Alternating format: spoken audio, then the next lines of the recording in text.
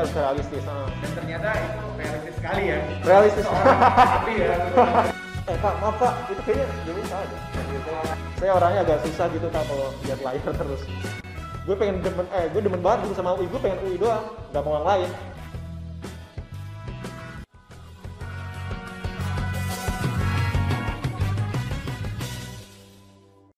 Assalamualaikum warahmatullahi wabarakatuh. Selamat siang. Assalamualaikum Mati. Waalaikumsalam kak Apa kabar? Eh, alhamdulillah baik Nih bersama saya hari ini adalah podcast perdana Nurul Fikri ya. Kita bisa lihat di sini ini adalah penyelenggara utama nih podcast kita nih. Ada bersama saya Muhammad Fatih Abdurrahman. Betul ya? Abdurrahman ya benar Nah, Muhammad Fatih Abdurrahman. Ini kalau boleh tahu dulu eh, pernah les di mana nih? Pernah les di mana? Terus kapan? Eh, kebetulan saya ikut les Nurul Fikri eh, dan saya ngambil hari Selasa dan Kamis Oh di NF mana tuh? Tahu? Eh, oh NF Cirende NF. NF Berarti posisinya itu kalau kamu sekolah di mana? Eh, kebetulan saya sekolah di Madrasah Pembangunan UIN, UIN Jakarta atau MP UIN ya biasanya orang-orang nyebutnya. Berarti dari MP Win eh, ke NF masih satu area yang dekat ya di daerah Tangerang Selatan tuh ya kalau salah ya. Benar, benar.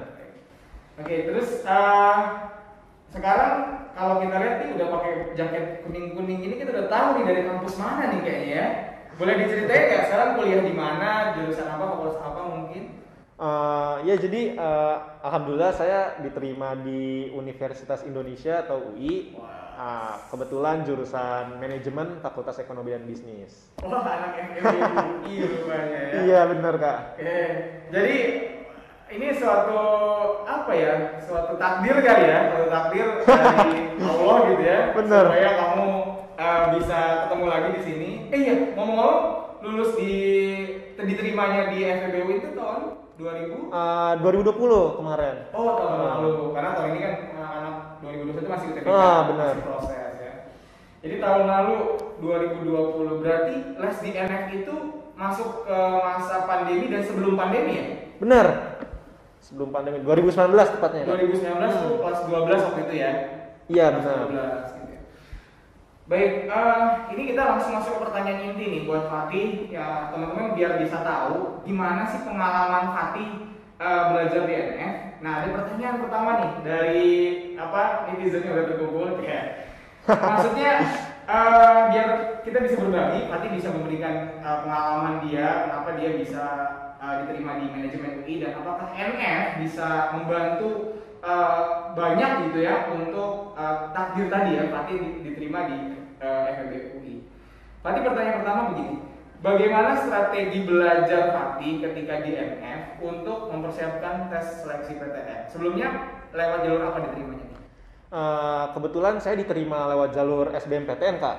Nah, untuk eh, strategi yang saya gunakan buat belajar di NF, ya saya pakai konsistensi gitu kak. Saya nge- asal konsisten aja gitu kak. Saya belajar di NF. Konsisten tuh bisa diterjemahin nggak maksudnya bagaimana? Oh, konsisten itu artinya eh, saya coba sebisa mungkin eh, ikutin jadwal yang udah ditetapkan sama NF. Habis itu eh, saya gunakan juga semua fasilitas NF. Habis itu ya belajar terus gitu kak sampai SBMPTN. Berarti konsistensi itu bagian dari metode strategi gitu ya?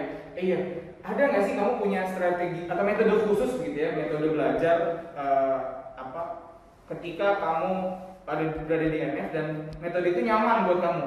Hmm. Paham nggak kira-kira? Kamu Paham, Kak. punya metode tersendiri gak misalnya? Hmm. Eh, jadi gini kak, saya tuh orangnya eh, lebih seneng kalau belajarnya sendiri, lebih fokus gitu, nggak ada distraksi dari teman-teman atau apa. Nah kebetulan kan eh, sesuai namanya kayak tadi bimbel dan konsultasi belajar, eh, saya tuh seneng banget yang namanya konsultasi tuh kak. Oh, Eh, konsultasi, eh, saya bisa janjian sama guru, eh, sama guru NF setiap sore atau misal waktu luang dan jatuhnya kayak privat kak, jadinya enak aja gitu menurut saya. jadi sendiri kamu tuh ya? Atau lebih sering bareng sama berdua, bertiga dalam satu tim belajar atau gimana? Eh, kebetulan kalau misalnya saya belajar sama teman saya, eh, saya punya teman khusus kak. Saya punya teman khusus belajar di yang di NF juga. ya kurang lebih berlima berempat lah kak Berarti eh, apa namanya metodenya itu dua ya berarti metode belajar sendiri dan belajar harus sama teman-teman atau punya lebih berat ke yang sendiri atau lebih berat bersama teman-teman tuh? Uh, Iya. tergantung kak kalau itu kalau misalnya untuk belajar materi apalagi kan saya kan sosum ya kak saya kadang agak terlambat gitu dari teman-teman saya yang sosum lain yang udah tiga tahun Kenapa kenapa terlambat? Boleh cerita nggak? oh ya jadi uh, kebetulan saya ini mahasiswa eh uh, mahas- uh, siswa IPA kak kebetulan Oh. saya masih masih Di MPU itu kamu siswa IPA ya?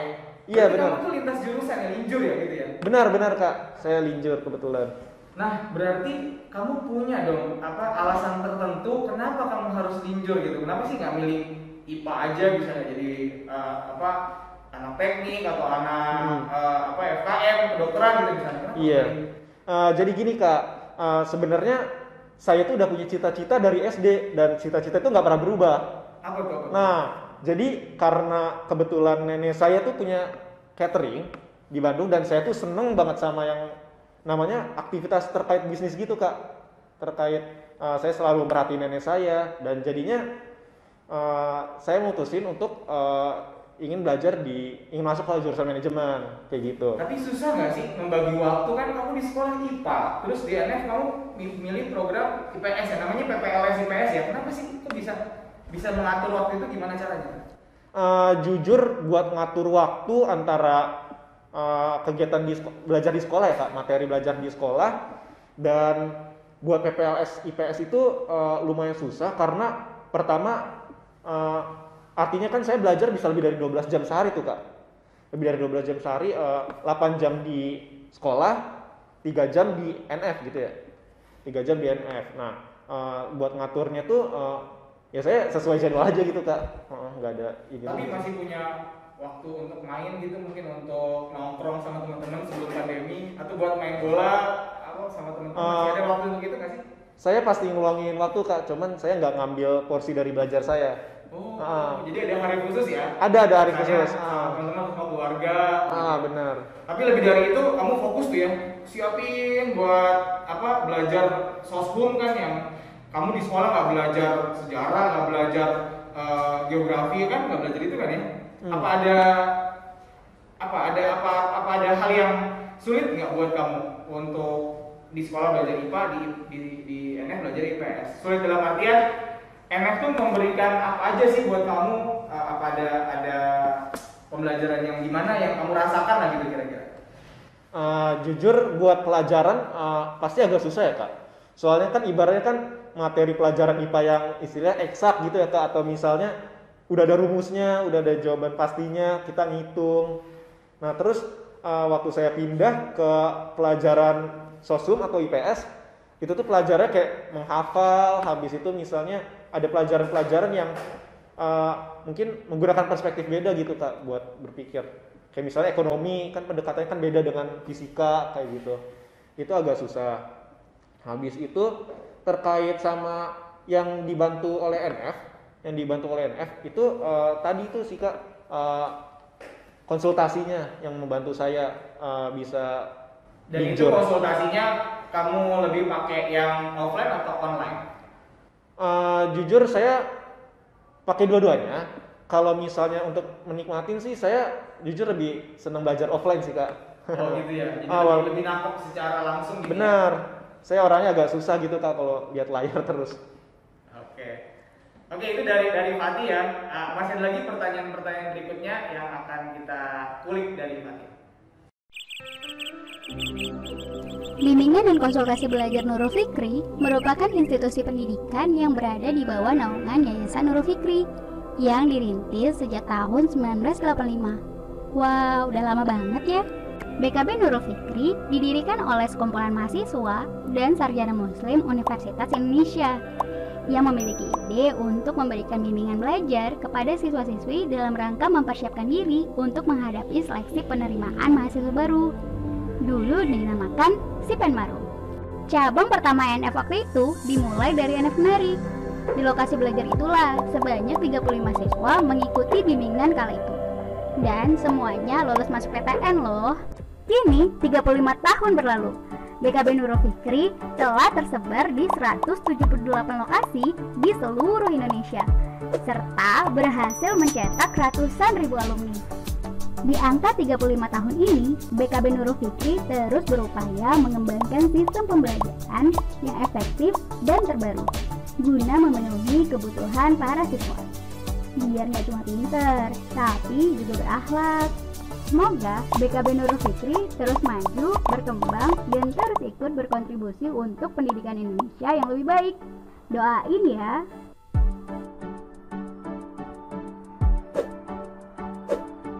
Nah, Fatih, saya ada beberapa pertanyaan lagi buat Fatih nih. Pertanyaan berikutnya adalah eh, fasilitas apa nih ya yang ada di NF sehingga mendukung belajar kamu?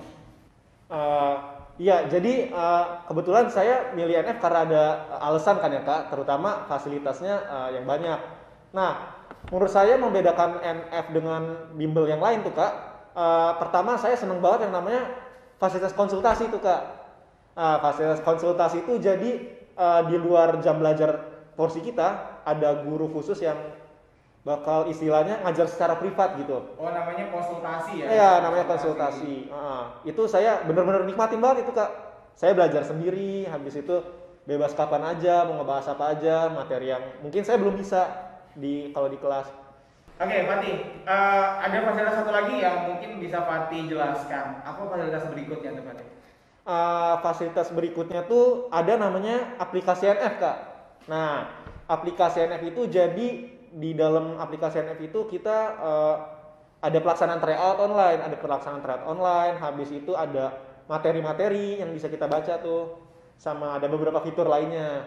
Nah, eh, karena NF udah punya aplikasi sendiri, jadinya kan pelaksanaan tryout bisa di mana aja gitu kak istilahnya kan, nggak terbatas kita harus datang ke NF, kita harus bawa pensil, harus bawa penghapus, harus nulis-nulis banyak gitu, enggak. Jadi kita eh, ya bisa tinggal pencet-pencet aja gitu udah simulasi UTBK. Itu sih kak enaknya kak. Berarti di perjalanan pun bisa sambil belajar ya? Bener, bener kak. Malahan saya waktu itu pernah lagi ke Bandung gitu, lagi keluar kota sambil TO aja gitu kak. Waduh, berarti berarti lumayan banyak juga ya fitur yang ditawarkan di aplikasi NF ya? Bener. Wah, gitu berarti kayaknya pertanyaan berikutnya langsung dijawab nih. Dampak belajar di NF tuh sangat kerasa nggak sih waktu mendukung pelajaran kamu di sekolah? Walaupun kamu anak IPA ya, kira-kira terdampak nggak tuh belajar di NF? Eh, gini kak, eh, kalau menurut saya eh, nggak ada korelasi banget sih kak eh, materi yang dipelajarin buat UTBK sama materi yang dipelajarin buat di sekolah. Karena sekolah itu kan mempersiapkan buat UN ya kak. Nah kalau bimbel-bimbel terutama NF nyiapin buat UTBK. Nah karena itu eh, ya nggak ada korelasi khusus sih kak. Baik, jadi dampaknya justru ya kamu belajar di NF ya buat UTBK dan kamu lulus ya sekarang ya takdirnya begitu ya. Benar alhamdulillah. Baik, Eh, Tih, jadi begini, saya tuh pengen nanya satu nih kan di NF itu ya eh, biar teman-teman tahu semua kalau misalnya si siswa lulus di PTN eh, yang dalamnya ada bidang studi yang diajarkan di Nurul Fikri itu bisa jadi pengajar loh, bisa jadi guru. Kira-kira kalau Fatih ditawarin sama NF bersedia nggak sih? Eh, eh, gini kak, jadi kan saya waktu di NF itu juga sempet tuh eh, belajar sama kakak-kakak tingkat yang ya cuma setahun di atas saya gitu. Yang masih kuliah? Benar, masih kuliah. Ada tuh anak sosiologi, ada anak ekonomi. Eh, jadi kan saya kan istilahnya kan kayak, oh saya punya utang budi gitu sama NF. Gue punya utang budi gitu sama NF. Jadinya ya kemungkinan pengen ngajar sih kak. Ah. kalau misalnya bisa ngebantu NF, bisa ngebantu adik-adik kelas ya kenapa enggak kayak gitu. Baik, baik, baik. Berarti, berarti ini, berarti tawaran ini nanti bisa dilihat ya teman-teman bisa diajak sama Fatih nih kalau seandainya nanti masuk NF ya. Eh, jadi ini penting banget perta- pertanyaan terakhir saya buat Fatih. Kira-kira apa sih pesan buat adik-adik nih terutama yang mereka masih SMA terus mereka lagi persiapan buat UTBK tahun 2022 khususnya kira-kira Fatih punya trik tips khusus atau bagaimana? Eh, begini kak, kalau misalnya trik khusus, eh, saya cuma bisa bilang yang penting kalian konsisten, kalian tetap sama niat kalian sendiri untuk ngejar PTN impian, untuk belajar.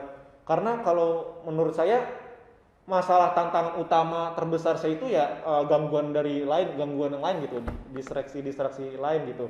Makanya kalau misalnya saya udah niat ingin ngejar PTN atau misalnya emang gue pengen demen eh gue demen banget gitu sama UI, gue pengen UI doang, nggak mau yang lain.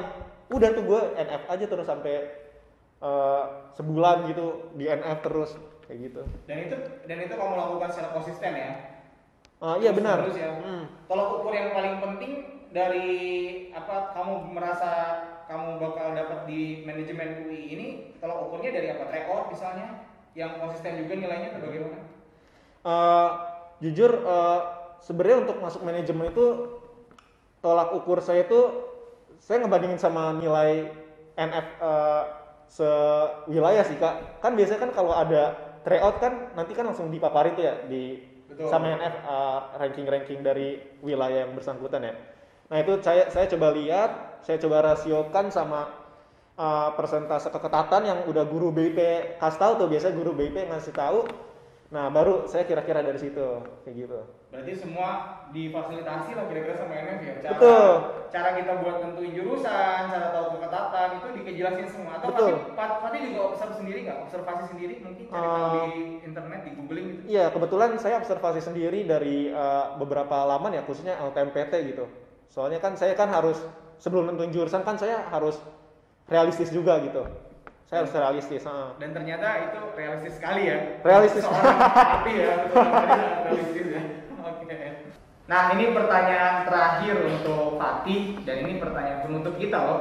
Uh, Fatih kamu punya saran apa buat anak-anak kelas 12 atau yang akan naik kelas 12 ya yang otomatis akan jadi mahasiswa angkatan 2022 untuk pilih bimbel NF sebagai bimbel yang hari ini masih terbaik di Indonesia ya untuk menuju PTN. Silakan. Uh, pesan saya buat angkatan 2022 nanti yang bakal uh, melaksanakan UTBK, uh, kalian itu udah memasuki jenjang pendidikan baru yaitu pendidikan kuliah.